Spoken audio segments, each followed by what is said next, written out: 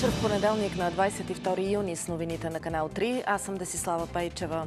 За пръв път от дни новоизлекуваните изпревариха заразените с COVID-19. Ето ги темите. Въпреки това затягат мерките срещу COVID-19. От утре носим задължително маски на закрито. До тук ние говорихме за три джета. Дезинфекция, дистанция, дисциплина. Сега към тях искаме да добавим едно К – контрол. Защото се оказа, че не можем да разчитаме на съвестта на хората. Валентин Златев и Пламен Бобоков на разпит. Заплита ли се аферата за търговия с влияние? Отговорите на живо. След протестите, постоянен арест за другирания шофьор, който прегази два пъти жена в Самоков.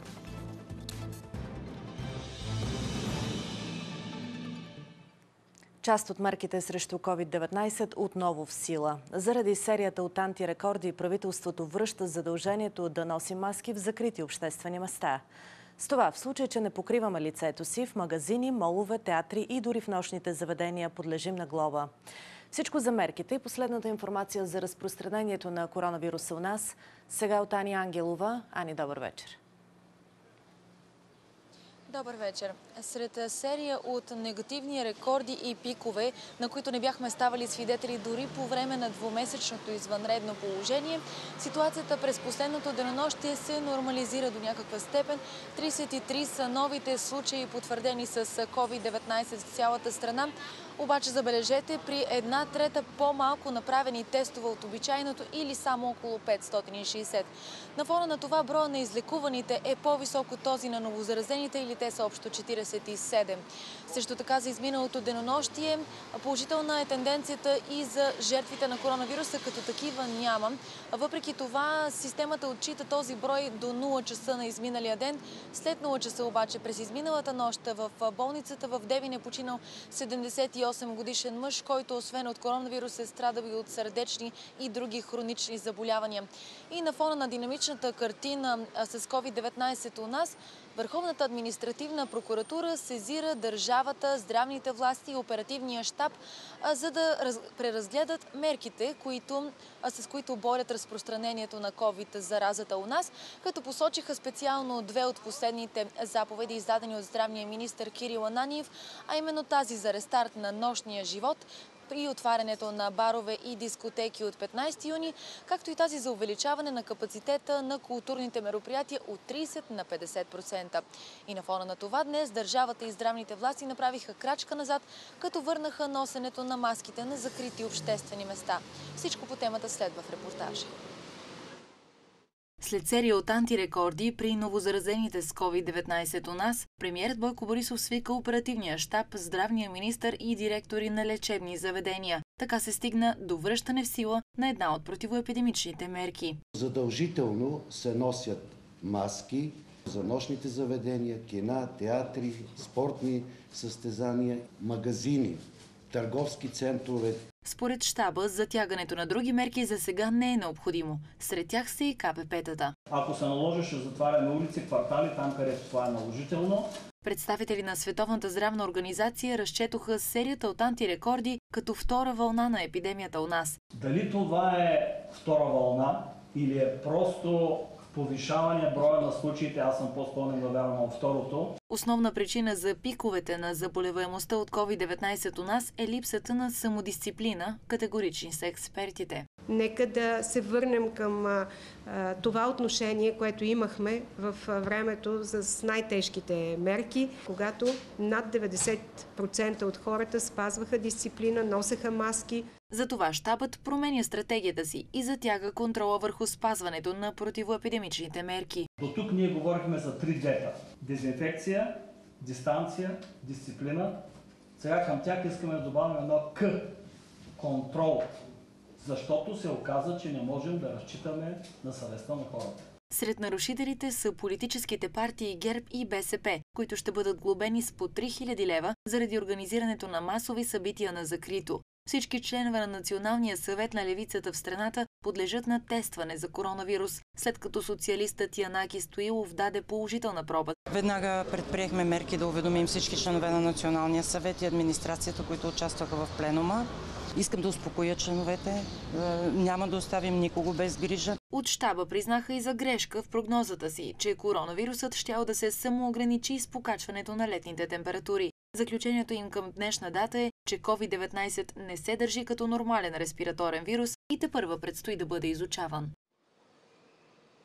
Извънредното положение в страната започна на 13 марта, ако обърнем поглед назад във времето и продължи два месеца.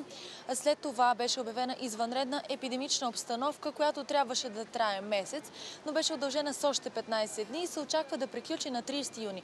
Днес обаче държавата и здравните власти заговориха за ново удължаване. Ще има ли такова и колко ще продължи извънредната епидемична обстановка? Предстои да разберем до края на седмицата. Обратно към студиото, колеги. Ани Ангелова, благодарим ти за тази информация. 14-дневна карантина за всички контактни лица на Григор Димитров Хасково. След като тенесистът сам съобщи, че е дал положителна проба за коронавирус, се оказа, че и треньора му, както и човек от щаба му са заразени. Всички жители на Хасково, които са контактували с първата ни ракета, могат да се тестват, ако преценят. Сред контактните му лица е и кмета Станислав Дечев. Още късно с нощи от щаба призоваха неговите фенове и близки да се обърнат спешно към здравните власти. Под карантина ще са всички, които са били на по-малко от метър и половина от големия български тенесист, както и са общували с Григор Димитров лице в лице за по-дълго време. Риска за феновете, които са били по трибуните на последния му матч, както и за тези снимали се с него, не е голям, смятат здравните специалисти. От утре масови проверки в столичния градски транспорт за спазването на мерките. Екипите на Общинска полиция ще бъдат удвоени, а как ще протичат проверките, ще научим сега от Никол Кичукова. Здравей! Здравейте! От утре контрола за носенето на маска в градския транспорт се затяга. Екипите, които ще контролират дали тази наредба се спазва, се отвояват. Съответно, от 3 те стават 6. Също така, от утре гражданите ще могат да закупят билет от контролерите, което до сега не беше възможно заради епидемичната ситуация в страната. Повече вижте в следващия репортаж. Само за изминалата седмица съставените предупредителни протоколи са около 230, а актовете едва 16. Заради високата глоба от 300 лева, контролерите избягват да налагат най-тежката санкция. Три екипа на Общинска полиция, заедно с контролерите, правиха непрекъснати проверки на наземния транспорт. Информираха ме колегите, че общо взето те избягват да правят актове, предпочитат предупредителни протоколи. Очевидно обаче това не върши работа. Какво ще направим от утре? От утре отвояваме екипите. Предвид и обстановката в, в София и в страната, започват още по-усилени проверки. До сега бяха три екипа на полицията, от утре ще бъдат 6 екипа на полицията, които в цяла София ще правят проверки по всеобхватния метод. Така че отново призоваваме гражданите да спазват мерките за безопасност, да ползват маски или други средства, които покриват лицата, защото Както виждате, тази епидемия, за съжаление, далеч не си отишла. Засилването на контрола не притеснява гражданите и гостите на София. Дори напротив, те приветстват мерките. Абсолютно правилно и задължително и трябва да се спазва това нещо. Защото а, България няма а, култура. Никаква. И след като няма култура, тогава трябва мерки. Там хората казват, носи ми толкова. Да, смятам, че е безотговорно хора да стоят без маски, но не смятам, че е безотговорно, ако хора имат маски и просто са нямали време да я сложат. Не съм забравил, говорех по телефона, реагирах веднага, не когато видях полицаите, още преди това. Ай, като ги гледам, всички си носят маските под носа. Извинявай много това как те предпазва, като носа ти е отвън. Аз пея в Националния филхармоничен хор и за мен е адски необходимо да се пазя. Ето, моите близка казва да ги глобяват. От утре контролерите вече ще продават билети и няма да глобяват за липсата на превозен документ. Загубите на Центъра за градска мобилност за периода от март до май възлизат на 24 милиона лева. Само за изминалата седмица проверените превозни средства са 700. Това е от тук, колеги, обратно към студиото. Никол Кичукова, благодарим ти. Българския лекарски съюз недоумение посрещна разпространеното от Министерството на здравеопазването съобщение, с което беше обявено, че изискването на ПСР тест като условие за прием в болница е незаконосъобразно. От съсловната организация остро възразяват срещу заплахите за санкции на болниците от Изпълнителната агенция Медицински надзор. От Българския лекарски съюз смятат за неприемливо, че изследванията трябва задължително да са за сметка или на пациентите, или на лечебните заведения. Тоест борбата с пандемията е основен приоритет на държавата, се казва в тяхното съобщение. Темите в понеделник продължават колони от автомобили на границата с Румъния. Каква е обстановката? Ще разберете след минути. До края очаквайте и още. Правораздаване в дигиталната ера снабдиха част от най-натоварените съдилища и затвори у нас камери за видеоконферентни разпити.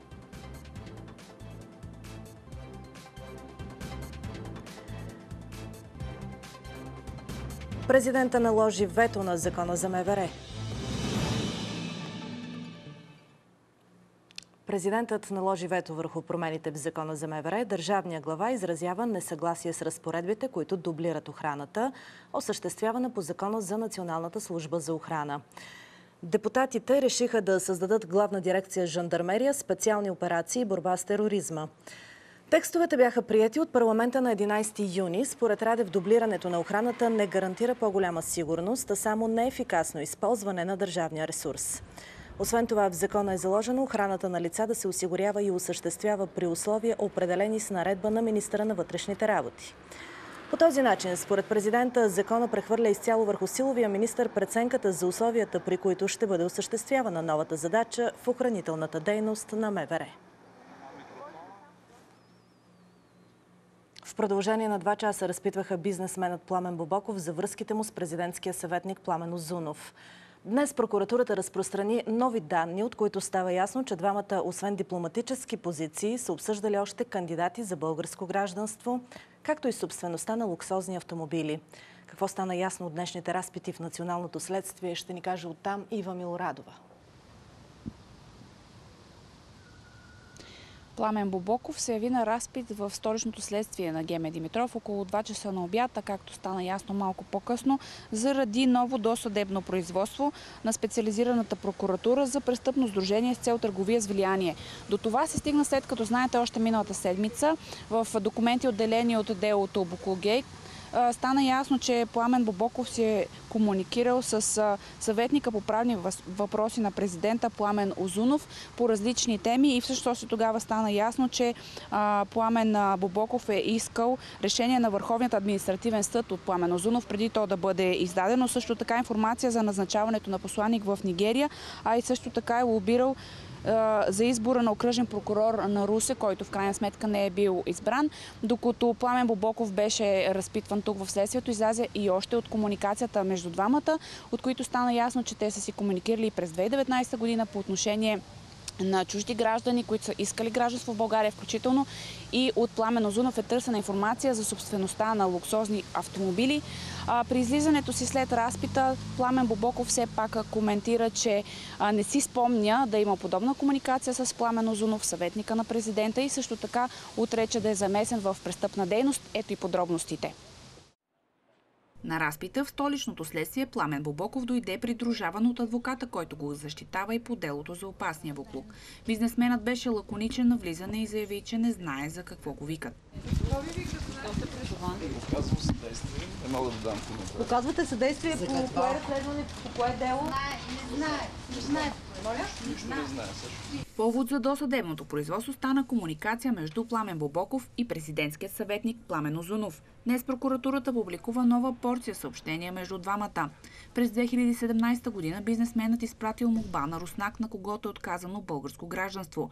В началото на миналата година пък пуснал заявление на либиец до МВР с молба да му заличат криминалните регистрации. Тази комуникация е най-дълга и продължава до ноември.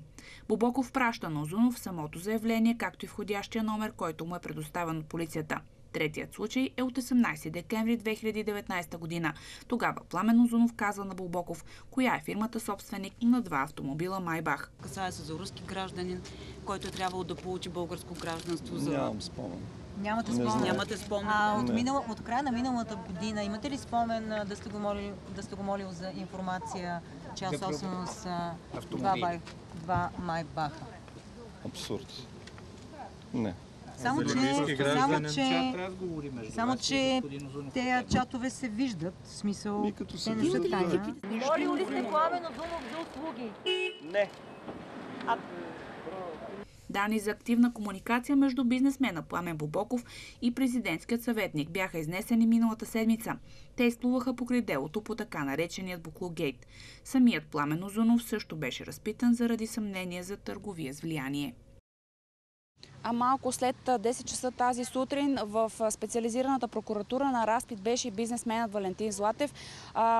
Спекулациите, тъй като официална информация нямаме, е, че той е бил разпитван във връзка с делото Буклук Гейт и повдигането на обвинения на братя Бобокови за вноса на опасен буклук в страната ни и участие в организирана престъпна група. Това, което разбрахме от самият Златев след разпица, който про- протече за около час, е, че той не иска да коментира за какво е бил извикан и всъщност единственото, което потвърди е, че познава братя Бобокови, както и вече отстраненият министър на екологията, отново свързан с тази организирана престъпна група. Още от думите на Злате, вижте. Около час след като се яви в специализираната прокуратура на разпит, Валентин Златев напусна сградата, без обаче да стане ясно за какво е свидетелствал. Той все пак коментира познанството си с обвиняемите братя Бобокови и вече бившият заместник министър на екологията Красимир Живков, които са привлечени като участници в организирана престъпна група. Бях призован да се ява и дадох показания в, пред госпожа Брежашка като свидетел. Това е приоритет на прокуратурата, нека тя да прецени. Аз съм отговорил на тези въпроси, които са ми зададени. Нямам идея по кое разследване си и защо се водят. Отношенията ви с Красимир Живков и братя Бобоков. Какво са ме питали, не мога да отговарям. А Пак какви са казвам, ви все пак отношенията с познавам, Красимир Живков? познавам и братя Бобокови и Красимир Живков. А имате ли притеснение за това, което ви разпитваха, че от тук нататък можете да бъдете привлечен под отговорност? Аз не съм извършил нищо незаконно, за да имам съмнение, че ще бъда привлечен като отговорност. Така че тази посока нямам съмнение. Златев за първи път коментира и решението да има държавна петролна компания. Бизнесменът беше категоричен, че промяната на пазара не го притеснява. Като законодател е преценил, значи оправдано. А това Ще бъдат ли засегнати помогне на пазара. Нямам идея, нека да видим как ще функционира Една- компания. Дискусиите около приемането на закона за горивата дават отговор на всички тези въпроси. Ние ще спазиме промените в законите или новите закони, които са дадени и в България. Златев беше категоричен и че проверките и разпитите на прокуратурата не го притесняват, тъй като не е извършвал незаконна дейност, а дружеството му е сред най-проверяваните у нас.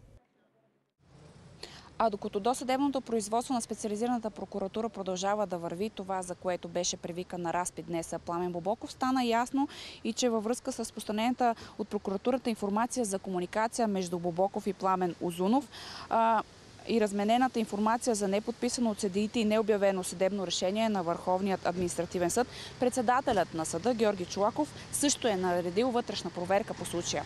Толкова по темата. Ива Милрадова от Националната следствена служба. Премьера Бойко Борисов, финансовия министр Владислав Горанов и председателя на бюджетната комисия Менда Стоянова са разпитвани като свидетели по разследването срещу Васил Бошков. Показанията им са част от досъдебното производство, по което Бошков е привлечен към наказателна отговорност за извършени престъпления против финансовата и данъчната система. До момента на столичната улица Московска 43 са намерени иззети 3610 предмета, които притежават признаци на движими културни ценности. Очакванията са прогнозния им брой да надхвърли 10 000. Бошков е регистрирал по реда на Закона за културното наследство колекция едва от 212 артефакта. Извършва се и щателна проверка на всички доказателства по досъдебното производство. Независимо дали същите са посочени под формата на комикси в социалните мрежи или по друг начин. Шофьорът, който под влияние на наркотици блъсна два пъти жена в Самоков, остава в ареста. Прокуратурата настоява за постоянното задържане на Виктор Дели Гълъбов с аргумента, че има риск да избяга от правосъдието или да се укрие. Според държавното обвинение, мъжът трябва да отговаря за причинена тежка телесна повреда при катастрофа, като деянието е умишлено и след употреба на наркотици. Пред съда Дели Гълъбов заяви, че съжалява за инцидента. Отрече да е избягал от местопроизшествието и не пожела да коментира дали е седнал зад волана другиран. Това е поредното пътно нарушение на обвиняемия, след като през 2013 година книжката му е била отнета отново заради наркотици. Защитата на Дели Гълъбов поиска по-лека мярка с аргумента, че мъжа лекувал стара травма от катастрофа в Нидерландия. Миналата седмица близки на пострадалата жена излязоха на протест в центъра на Самоков с искане за справедливост. Правораздавателната система навлиза в дигиталната ера. Държавата снабди най-натоварените съдилища и затвори у нас камери за видеоконферентни разпити. Новата система работи от 26 точки в страната през последния един месец, а чрез нея вече са проведени 40 производства. Стоиността на проекта възлиза на около 2 милиона и 600 хиляди лева. Три камери в съдилищата и две в затворите. Това е необходимата техника за провеждане на дистанционен видеоразпит. Системата е от ново поколение, а чрез тест в реално време днес участниците в проекта осъществиха конферентна връзка между административния съд в София и затвора в столицата. Бюджета по този проект е около 2 милиона и 600 хиляди лева, като основно сумата отиде за подсигуряване на техническата част от проекта, апаратурата. Предишният тест на системата е направен през май, а от тогава до сега тя не е спирала да работи в 20 съдилища и 6 затвора. Камери за видеоразпити има в местата за лишаване от свобода в София, Пловдив, Стара Загора, Бургас, Варна и Ловеч. Колко дела бяха гледани на този принцип до момента? Приблизително около 40 такива производства, в които е използвана видеоконферентната връзка. Отзивите са много добри. Спестява се време, усилия, финансови ресурси. По същия начин и с преводачите, когато се налага, особено от нетрадиционни езици, примерно орду, пуштунски, които са единици бройки в страната, да се осъществяват процесуални действия с чужди граждани. Същото е много по-лесно. За да се наложи новата система като практика у нас, са необходими законодателни промени в гражданския и наказателния процесуален кодекс, които да дефинират понятието видеоконференция. Нашата амбиция е до края на месеца да бъдат внесени в Министерски съвет и ако там бъдат одобрени, след това ще бъдат внесени в Народното събрание. Въпросът е доколко ще бъде разширен възможността да се използва видеоконференцията. На този етап новата система е разположена приоритетно в унези съдебни сгради, където се помощават няколко органа на съдебната власт – апелативен, окръжен, административен и районен съд. Официално зелена светлина за партията на Слави Трифонов на политическата сцена. Софийския градски съд одобри регистрацията на партия Има такъв народ с мотива, че са изпълнени всички законови изисквания. Символа на партията също не противоречи на правилата според магистратите. Решението може да се обжалва или протестира в 7-дневен срок. Държавата може да загуби до 150 хиляди работни места от така наречената зелена сделка, която цели да намали производството на парникови газове с 50% в целия Европейски съюз. Президента на КНСБ Пламен Димитров обаче прогнозира, че у нас това ще има пагубен ефект за цели отрасли. Сред тях енергетика, металургия и транспорт, както и селското стопанство.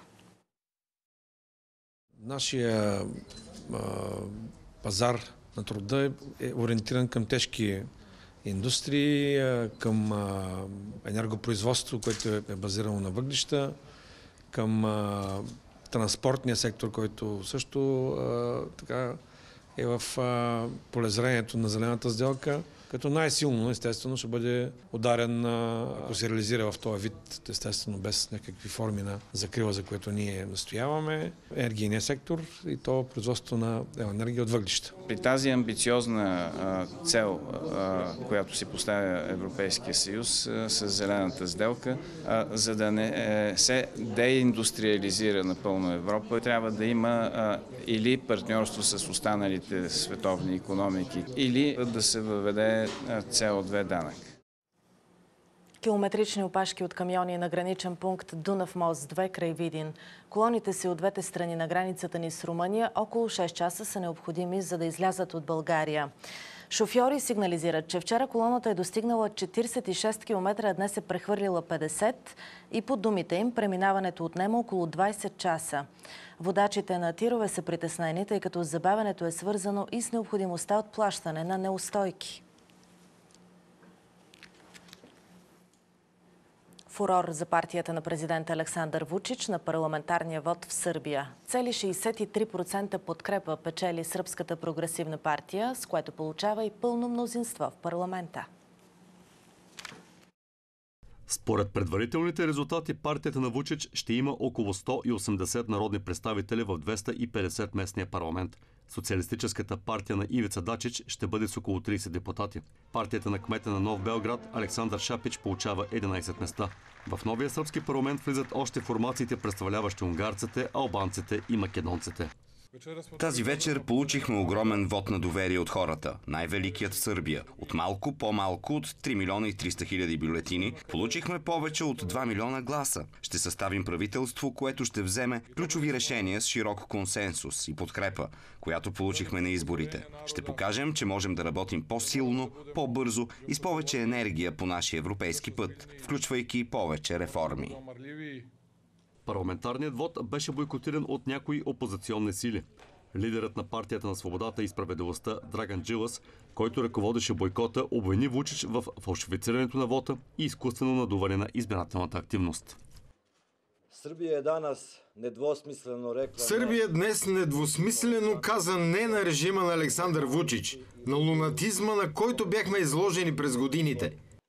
Бойкотът всъщност постигна целта ни и разобличи режима и днес всеки можеше да види как всъщност изглежда Сърбия. Како Сърбия изгледа. Въпреки обвиненията, парламентарните, областните и местните избори в Сърбия преминаха без инциденти и сериозни нередности. Терористът, който на мушка с ноши уби трима души в британския град Рединг е действал сам. До това заключение стигнаха органите на реда, които разследват нападението. То потресе жителите на населеното място тази събота. След инцидента трима души остават в болница в тежко състояние. След известно мълчание властите потвърдиха, че нападението е терористичен акт, а за даянието е задържан 25 годишен ливанец. Униформените не разкриват самоличността му. Но по непотвърдена информация става въпрос за мъж на име Хаири Саадалах. Днес се проведе и поклонение в памет на една от жертвите, 36-годишния учител Джеймс Фърлонг. Ученици и колеги на жертвата запазиха минута мълчание в негова памет пред училището, в което е преподавал в последните години. Нападателят е извършил това зверство сам. Единственият заподозрян е задържан, но хората трябва да останат бдителни. Думите са недостатъчни, за да опишат шока и огорчението ни. Мислите ни с неговите близки, с приятелите му. Ще ни липсваш, Джеймс. Благодарим ти за всичко. Нашият учител беше невероятен човек. Не беше като всички други преподаватели. И не просто ни учеше. Беше истински добър човек. Сега следват спортните новини. Останете с Цвети Гагарова, за да разберете най-важното. Желая ви хубава вечер.